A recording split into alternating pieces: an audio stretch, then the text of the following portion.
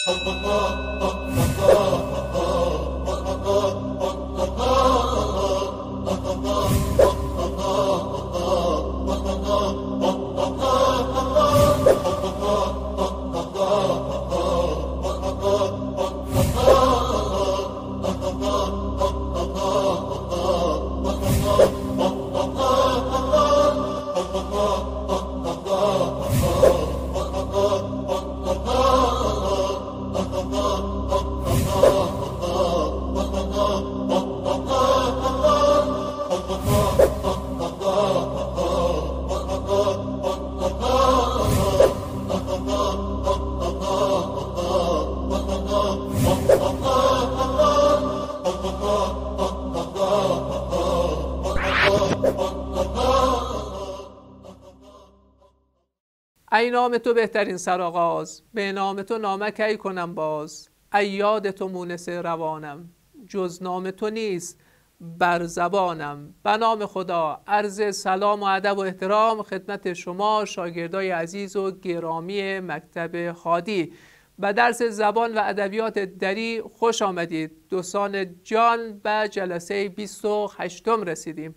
عنوان درس امروز ما و شما صلح و امنیت است. در بخش دوم برسیم به یک مفهومی در قلمرو علائم نگارشی تحت عنوان خط فاصله یا دش دوستان عزیز در فضای مجازی ما رو دنبال کنید. نمبر ارتباطی ما و شما 20964 780 255 40 13 آماده دریافت نظرات شما خوبان دری زبان هستیم. عزیزان جان به آخرین جلسه از مضمون ادبیات دری خوش آمدید.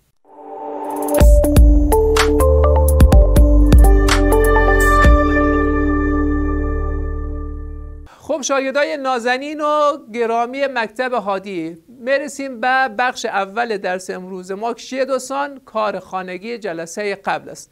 خب کار خانگی جلسه قبل چه می‌گوید؟ در زبان دری نشانه ندا چه کاربردهایی دارد؟ می‌خواهیم ما و شما بررسی بکنیم که نشانه ندایی که در جلسه قلب برای شما توضیح دادیم انواعش رو گفتیم موارد کاربردش رو گفتیم. در این جلسه می‌خواهیم باز هم مرور بکنیم و بدانیم که نشانه ندا در کجای جمله در ساختار در واقع یک متن جایگاه و موقعیت داره. خب به طور کلی می‌گوییم که نشانه ندا در دو جا کاربرد دارد. می‌گوییم چی دوستان باز می‌کنیم. می‌گوییم نشانه ندا. خب دو کاربرد دارد. یک کاربرد اول نشانه ندا پس از منادا. هر زمانی که شما یک جمله داشتید که یک جمله ندایه بود دوستان یک کلمه ای است که به عنوان ندا قرار می گیرد یا قبلش یا بعدش در واقع نشانه ندا می آید هر زمانی که شما منادا داشتید او کلمه که قبل و بعدش نشانه ندا می آید چه می‌گوید شاگرد عزیز؟ آفرین. می‌گوییم منادا. پس هر زمانی که ما در جمله منادا داشتیم بعد از او کلمه منادا چه می آید نشانه در واقع چی؟ و علامت ندا می آید. حال می‌گوییم مثال می‌زنیم. چی دوستان؟ می‌گوییم که الهی. عبدالله عمر بکاست. ولی عذر نخواست. این یک جمله مشهوری است که در مناجات نامه خاج عبدالله انصاری ذکر شده. یک جمله چیه دوستان؟ جمله نداییه. چه می‌گوید؟ الهی عبدالله عمر بکاس ولی عذر نخواست. خداوند عمر خاج عبدالله در حال اتمام است ولی هنوز توبه نکرده است. خب کدام کلمه در این جمله دوستان منادای احسن؟ کلمه الهی می شود کلمه منادای ما. خب الهی که منادا هست بعد از این کلمه منادا ما چیز ذکر می‌کنیم؟ آفرین. چیزی که می آید در واقع نشانه و علامت نداست که در واقع اینجا ما علامت ندا رو می‌گذاریم و جمله رو ادامه می‌دهیم. پس این یک مورد کاربرد نشانه ندا. خب مورد دوم کجاست؟ می‌گوییم مورد دوم پس از کلماتی که بیان کننده عواطف و احساسات می باشد هر زمانی که ما در ساختار جمله کلماتی داشتیم که این کلمات عواطف و احساسات و تأثیرات یک شخص را بیان می‌کند تحت عنوان چی می‌گوییم دوستان؟ کلماتی می‌گوییم که بعد از این کلمات حتما باید علائم و نشانه ندا ذکر شود. خب این کلمات کدام است؟ این کلمات انواعی دارد. یا می‌گوییم دوستان چی؟ یا می‌گوییم وا حسرتا یا می‌گوییم دریقا یا می‌گوییم آفری. این مورد کلماتی هستن که در واقع بعد از او چه میآید؟ نشانه ندا میآید. پس چی؟ می‌گوییم وا حسرتا. دریقا آفرین. بعد از این کلمات ما نشانه ندا رو دوستان ذکر می‌کنیم. پس این کلمات هم کلماتی هستن که نشانه ندا رو به خود می‌بینن و بر خود می‌گیرن. البته یک نکته در این قسمت. و اون نکته است که دوستان هر زمانی که ما در ساختار جمله این کلمات را داشتیم که بیان کننده حس ما عاطفه ما تأثیرات ما هستن که این کلمات هستن دوستان این کلمات را می‌بینیم بعدش نشانه ندا رو ذکر می‌کنیم. در چه صورت؟ به اون صورتی که بعد از این علامت ندا هیچ گونه جمله ذکر نشود. اگر جمله اگر جمله ذکر شود ما نشانه ندا را در واقع جایش را تغییر می‌دهیم. مانند چی؟ مثال می‌زنیم. مثال ما این گونه است. اگر به طور مثال ما کلمه آفرین که در واقع یک حس تحسین برای نفر مقابل ماست. بگوییم اگر به تنهایی ذکر شود گفتیم نشانه ندا اینجا می آید اگر بعدش یک جمله ذکر شود مثلا چی می‌گوییم؟ میگیم آفرین شاگرد خوب مکتب هادی. آفرین شاگرد خوب مکتب هادی. او علامت ندا دوستان اینجا می آید آفرین شاگرد خوب مکتب هادی علامت ندا کجا آمد؟ آخر جمله ذکر شد.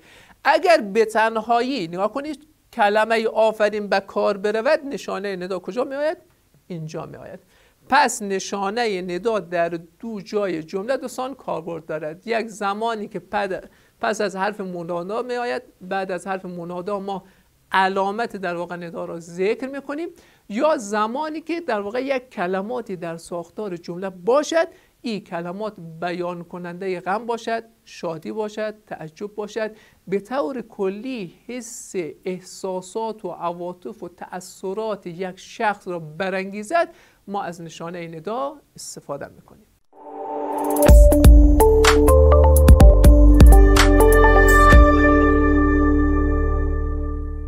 خب شاگردای عزیز مکتب هادی به بخش اول درس امروز وارد میشیم درس امروز ما و شما یکی از مفاهیم بسیار اساسی در حوزه علم سیاست است.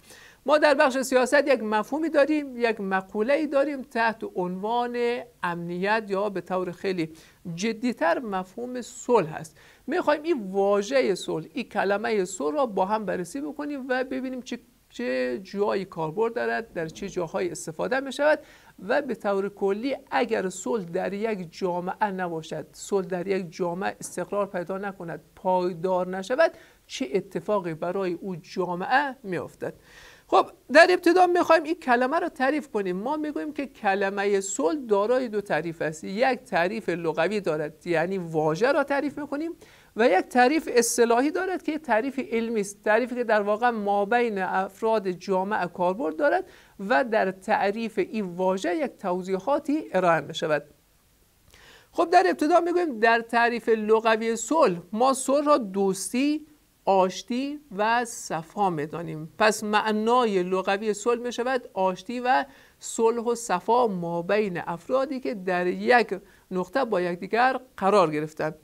یا در تعریف اصطلاحی می‌گوییم که صلح یک حالت است. چه حالتی است؟ حالتی است که بر اثر آن جنگ به صورت دائم یا به صورت موقت پایان یافته آرامش و امنیت پدید می آید پس همیشه صلح چه جایگاهی دارد؟ همیشه صلح بعد از جنگ اتفاق می افتد یک جنگ یک حادثه شومی در یک جایی در یک نقطه اتفاق می افتد بعد از او ما بین افراد او جامعه یک صلح یک ثبات و یک آشتی ایجاد می شود حالی آشتی می تواند موقت باشد می تواند دائم باشد. شکلش بالاخره متفاوت است. ولی نتیجه ای که دارد بسیار نتیجه خوبی است.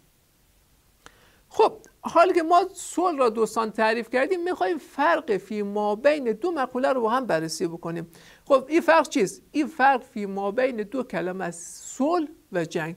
جنگ و صلح چه تفاوتی چه فرقی با یکدیگر دارد؟ اگر ابتدای درس رو بخوانیم دوستان می‌بینیم که این مقوله صلح این مفهوم صلح از زبان چی بیان می‌شد از زبان یک پدر برای دخترش.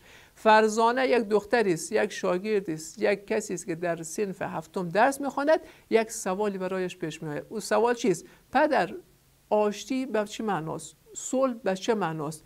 حال اگر صلح در یک جامعه نباشد چه اتفاق میافتد؟ پیامدهای خطرناک و اسفبار جنگ برای افراد یک جامعه چیست؟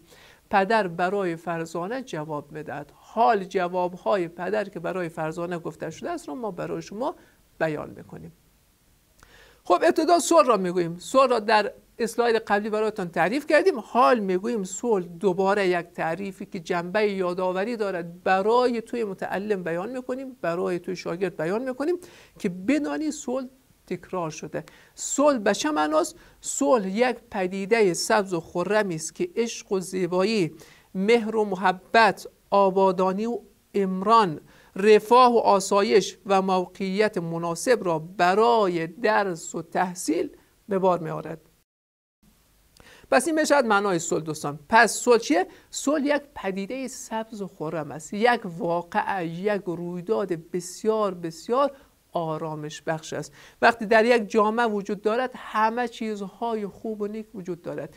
مهربانی و رعفت و عطوفت در او جامعه هست. آبادانی ساختن سازندگی در او جامعه مشاهده می شود صلح و امنیت باعث می شود بسیاری از افراد جامعه به سمت پیشرفت در حوزه های مختلف تجارت برود. در بخش های مختلف تحصیل برود در بخش های مختلف در واقع فرهنگ برود و بخش های مختلف جامعه سطح های مختلف جامعه در واقع دچار چی می‌شد ارتقا می‌شد در چه جایی؟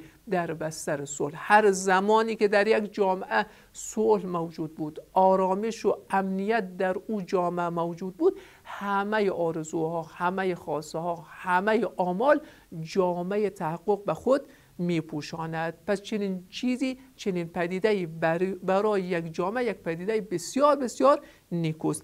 در مقابل صلح ما جنگ را داریم. جنگ چیست؟ جنگ یک پدیده شومی است که حاصل آن بدبختی ویرانی تباهی و کشتار و خونریزی است.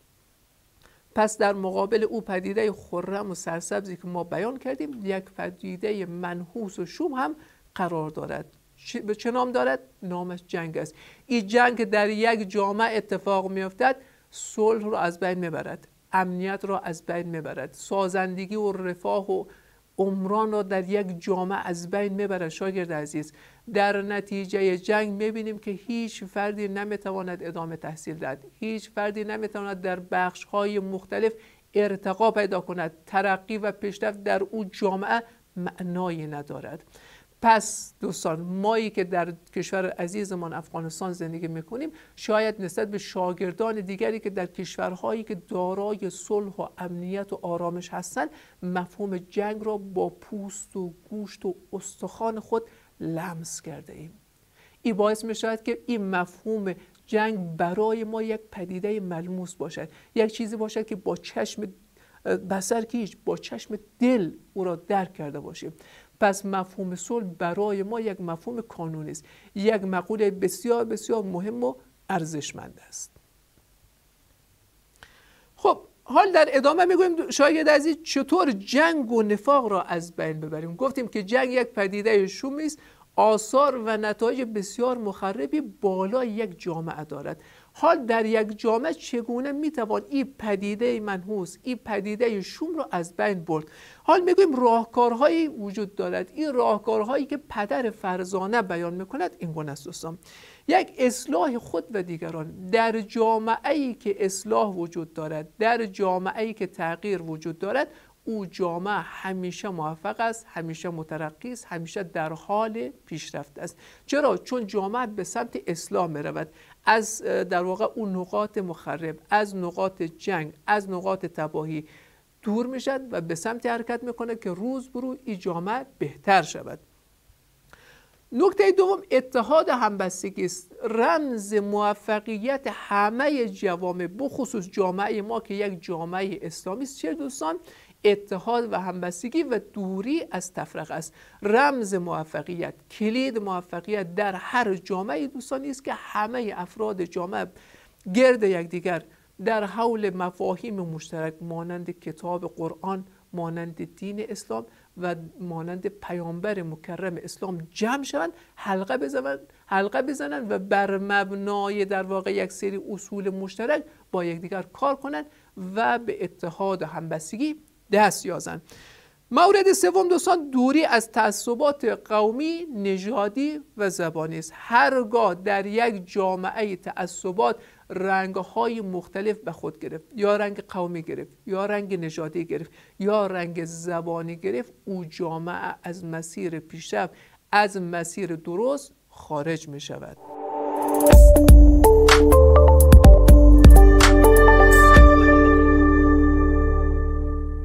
شرط موفقیت افراد جامعه است که از تعصبات قومی زبانی و تعصبات در گونه های مختلف در بخش های مختلف دوستان دوری کنند پس از این تعصبات دوری کنید و در حوزه چی دوستان؟ در اتحاد و در همبستگی به دور یکدیگر نزدیک شدید این نزدیک شدن موجب ترقی افراد مختلف در بخش های مختلف یک جامعه می شود برجسته کردن اهمیت صلح در جامعه می توانیم مفهوم صلح می توانیم واژه صلح را در بخش های مختلف جامعه دوستان چیکار کنیم؟ برجسته کنیم. در واقع نشان دهیم که این صلح در ساختار یک جامعه در بخش های مختلف یک جامعه چه نتایجی دارد چه اثرهایی دارد و چه پیامدهایی دارد. هر زمانی که ما از این راهکارها استفاده کردیم این امر موجب می شود که جنگ این پدیده منحوس و شوم در یک جامعه رنگ ببازد و صلح و امنیت و آرامش در او جامعه حکم فرما شود. خب گفتیم که یکی از کارهایی که در زمینه نابودی جنگ انجام میشه چه دوستان؟ برجسته کردن مفهوم صلح در جامعه است. یکی از راههایی که می توانیم صلح را در جامعه در واقع نشر دهیم گسترش دهیم چه شاگرد عزیز؟ تبلیغ کردن است.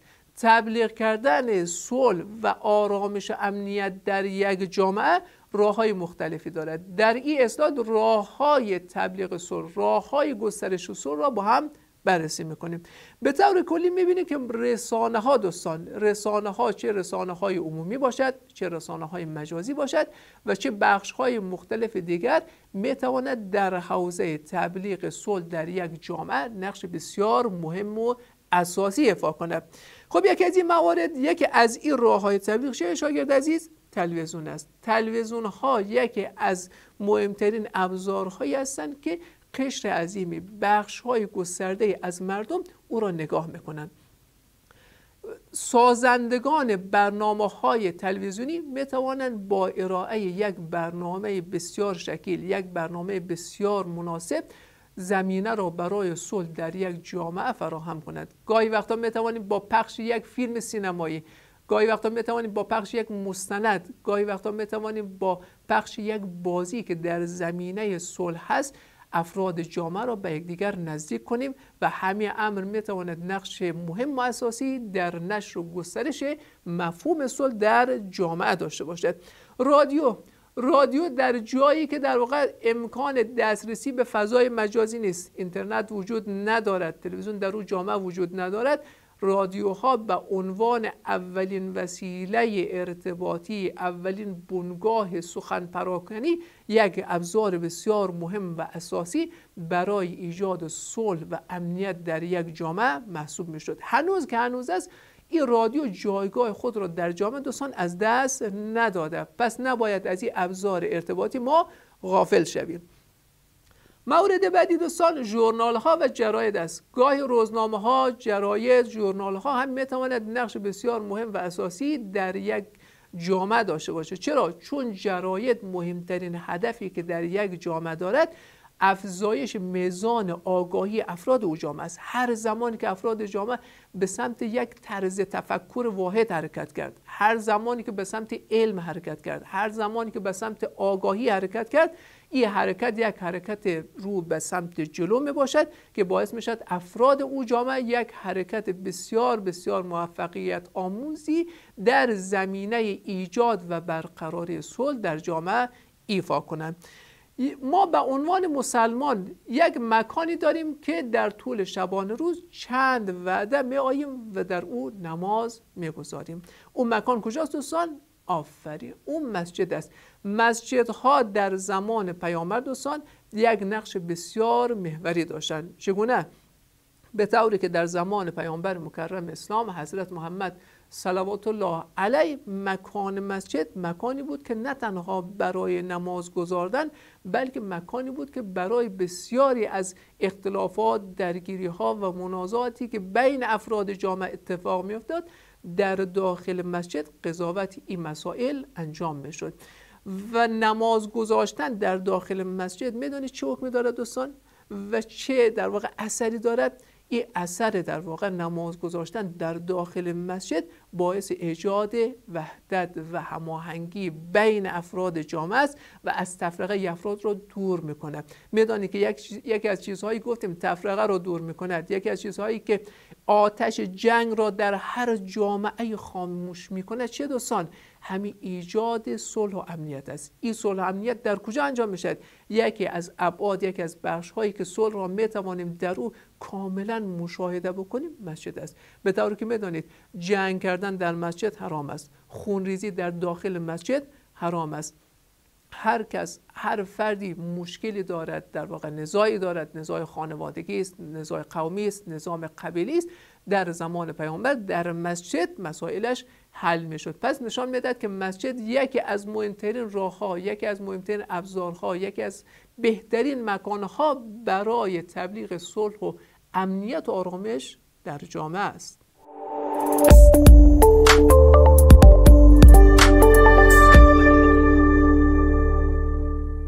خب شاگردای عزیز و گرامی وارد بخش دوم شویم. بخش دوم امروز ما در حوزه قواعد نگارشی بخشی است تحت عنوان خط فاصله که به نام دش هم از او یاد می‌کند. می‌خوایم ببینیم که موارد کاربرد این علامت نگارشی در حوزه ساختار زبان دری چه جایگاهی دارد. خب ما به طور کلی می‌گوییم که خط فاصله یا دشت در ساختار زبان دری دو کاربرد دارد دو جایگاه دارد که با هم بررسی می‌کنیم. اول می‌گوییم پیش و پس از عبارتهای توضیحی مانند جمله معترض است. هر زمانی که ما بخواهیم یک مفهومی را یک کلمه ای را یک واژه ای را در ساختار زبان دری توضیح دهیم قبل و بعدش چی می‌کنیم دوستان؟ ما از دش از علامت دش از خط فاصله استفاده می‌کنیم. به طور مثال نگاه کنید دوستان نمونه و مثال را می‌گوییم. ناصر خسرو شاعر مبارز و دانشمند دری زبان در سال 481 هجری قمری از دنیا رفت. خب دش کجاست دوستان؟ دش می‌بینیم که ما بین چیه؟ شاعر مبارز و دانشمند دری زبان او علامت های قرمز رنگ او خط فاصله ای که بر رنگ قرمز در رنگ سرخ برای شما مشخص کردیم او می‌شود چی؟ او می‌شود دش چرا؟ چون می‌خواهد یک عبارت را توضیح دهد. عبارت کیست؟ عبارت ناصر خسرو است.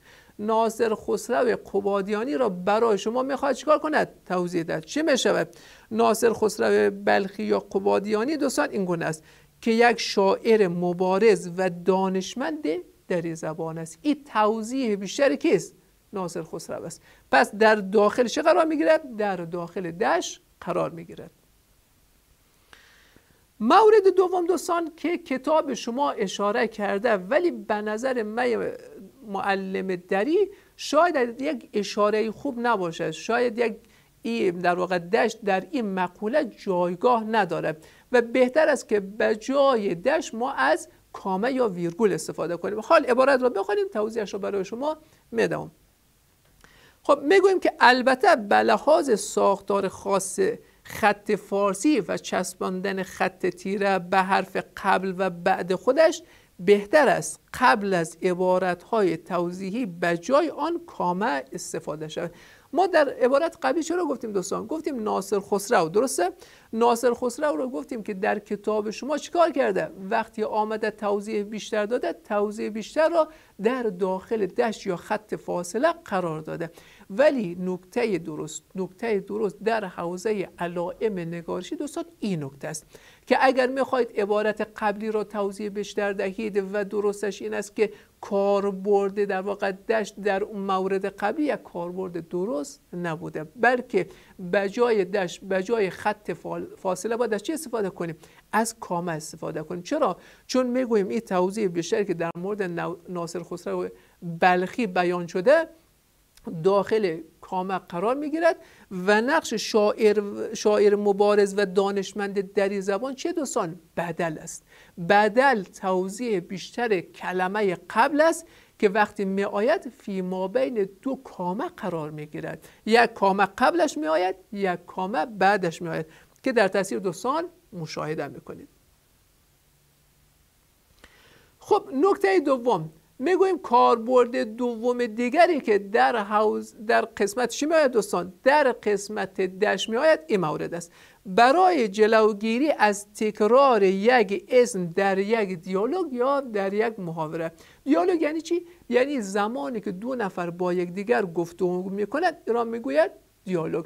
اگر یک نفر به تنهایی و با خود صحبت کند مثل که شما در مقابل آینه قرار بگیرید و با خود صحبت کنید او را می‌گوید مونولوگ. و ای که شما بیایید با یک نفر دیگر صحبت کنید می‌شود دیالوگ. حال می‌گوید که در یک دیالوگ وقتی شما می‌خواهید صحبت کنید برای ای که از تکرار اسم او فردی که دیالوگ ها را می‌گوید جلوگیری کنید از علامت خط فاصله یا از این دش استفاده می‌کنید. به طور مثال در درس شما این مفهوم را داشتیم دوستان که گفتیم فرزانه و پدرش در مورد صلح با هم صحبت می‌کردن. فرزانه پرسی چی می‌گوید؟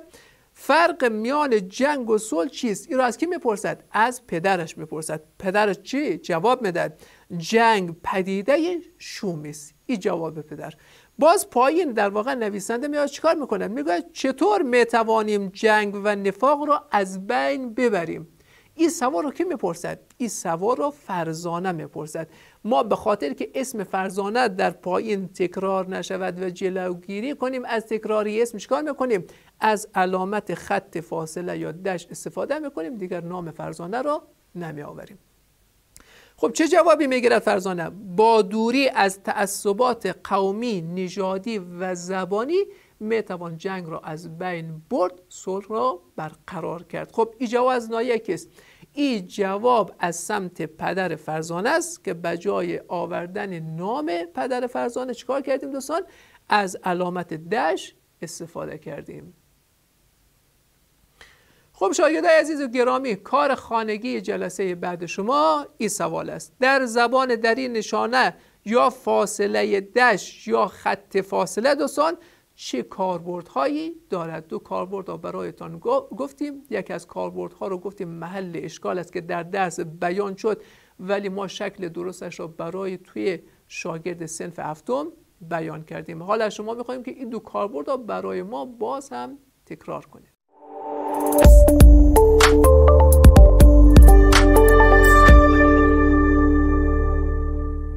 شاگردای عزیز و گرامی مکتب هادی در پایان درس امروز و در پایان سلسله جلسات درس زبان و ادبیات دری رسیدیم. امیدوارم که خسته نباشید مانده نباشید. عزیزان جان به طور کلی درس زبان و ادبیات دری تمام شد. افتخار داشتیم که در مدت 28 جلسه در خدمت شما دری زبانان نازنین بودیم. عزیزان جان آرزوی ما امیال ما و خواسته های ما موفقیت و کامیابی شما در امتحانات است. امیدواریم که در سنف های بعدی شما را باز هم ببینیم. نظر و پیشنهاداتتان را دوستان از ما دریغ نکنید. نمبر ارتباطی ما را فراموش نکنید. 2964 780 255 40 13 باز هم آماده دریافت نظرات شماست. خدایا چنان کن سرانجام کار. تو خوشنود باشی و ما رستگار در پناه حق باشید خداوند یار و نگهدارتان.